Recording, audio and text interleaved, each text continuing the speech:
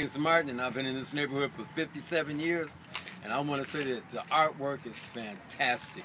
And I've been waiting to see the artists, and now that I've seen them, I feel like I can just come and give everybody a family hug because you guys have done a beautiful job, and it's really making the community look 100% You want, better. You want to do it like an honorary. Uh, I get a roll? Roll. Oh, man.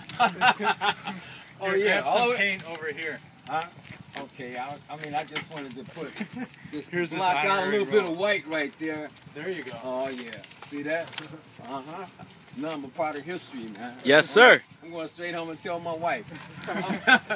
Okay, can I get your name one more time? My name is James Martin, Thank you very much, James Martin. community resident. Yes, sir. Been sir. here for 50 some years. Nice.